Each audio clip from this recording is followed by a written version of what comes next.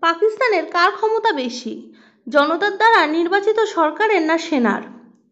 এ নিয়ে দীর্ঘ বিতর্ক রয়েছে। বারবার প্রমাণিত হয়েছে, সরকারের চেয়ে বেশি শক্তিশালী পাক সেনা। প্রধানমন্ত্রীর থেকে ক্ষমতা বেশি পাক সেনার। জেনারেল মুজাফফর কীভাবে পাকিস্তানের ক্ষমতা দখল করেছিল, সে কথা সকলেরই জানা।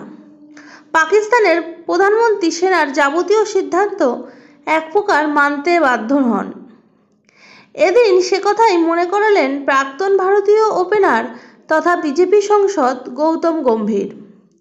তিনি বললেন, পাকিস্তানের প্রধানমন্ত্রী আসলে সেনার হাতের পুতুল। রাষ্ট্রসংঘের ইমরানের পনেরো মিনিট বক্তব্যই তা প্রমাণিত। রাষ্ট্রসংঘে পাক প্রধানমন্ত্রীর বক্তব্য সম্পর্কে টুইটারে গম্ভীর বলেন, প্রত্যেক দেশকে সময় দেওয়া হয়েছিল পনেরো মিনিট করে। ওই পনেরো মিনিটেই তাদের বক্তব্যের মাধ্যমে বুদ্ধি ও বুদ্ধিত্বের পরিচয় মেলে। একদিকে যখন আমাদের প্রধানমন্ত্রী নরেন্দ্র মোদীজির শান্তি ও উন্নয়নের কথা বললেন, সেখানে পাক সেনার পুতুল পরমাণু যুদ্ধের কথা বললেন।